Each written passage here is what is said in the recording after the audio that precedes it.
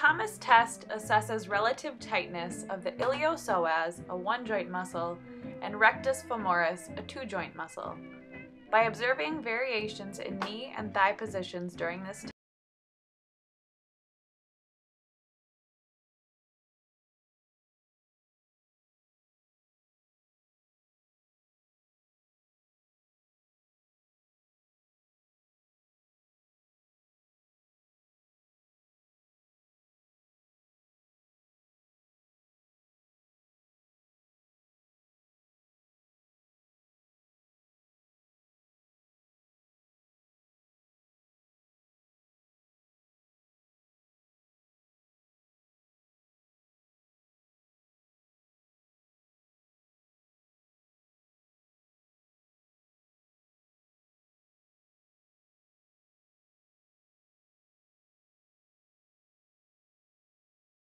indicated when the leg cannot achieve parallel with the knee flexed.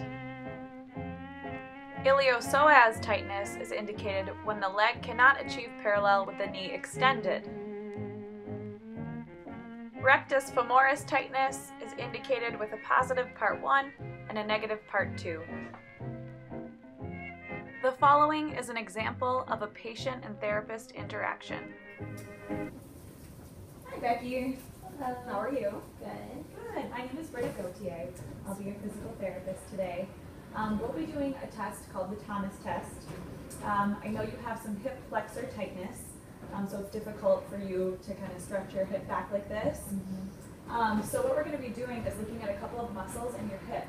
Um, one is called the iliopsoas muscle. Um, and if we look at our front skeleton here, the psoas muscle attaches on your spine here and then comes down and attaches onto your thigh bone here. It's a one joint muscle. Um, it'll bend your hip like this.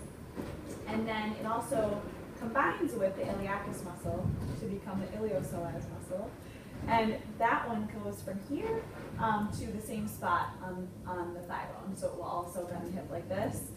Um, so we're going to differentiate that muscle from the rectus femoris, um, which is another muscle um, that starts here and then attaches down past the knee um, at the patellar tendon. And so that one actually straightens the knee and bends the hip. Okay? So we're going to differentiate those. Do you have any questions? No. Okay. Okay, so now Becky, we're actually going to do the test. Um, if you wouldn't mind sitting at the edge of the mat here. Okay. So I see that you have really good sitting balance. Um, I also wanted to ask, do you have any major issues with your lower back, your knee, or your hip? No. Any pain or anything? No. Okay. All right, so we will go ahead and start the test. So what I'm going to be doing is lowering you down onto your back. And what I want you to do is hug your knees nice and closely to your chest, okay? So I'll be supporting you on the way down. All right, so go ahead. Okay, great. Now what I want you to do is hold on to this leg, and I want you to keep it in that position. And make sure that you keep your lower back nice and flat on the mat here, okay? So go ahead and hold on to that one. You want to keep it nice and bent, okay? Yep. So I'm going to help you lower your leg down here.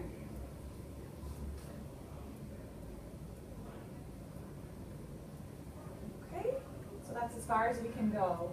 And I do see that you do have an angle here at your hip, which indicates some hip flexor tightness. Okay? Now we're going to do this test again. So I'm going to bring your leg back up. And now I'll be differentiating between those two muscles.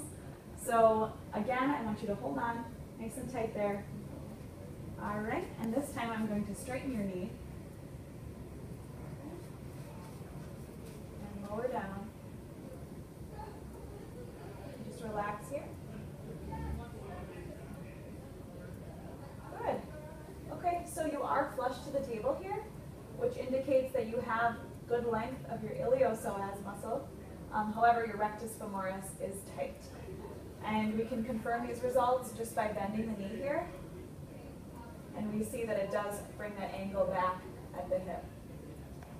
All right. So now, go ahead and hold on here. I'm going to support you back up into sitting, okay? Okay. All